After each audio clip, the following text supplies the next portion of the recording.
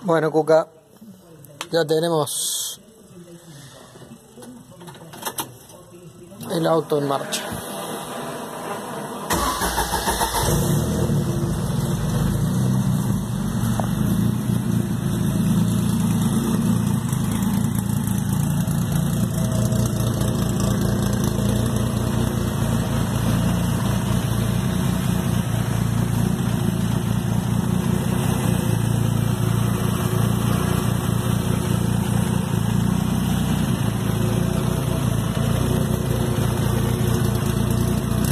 Thank you.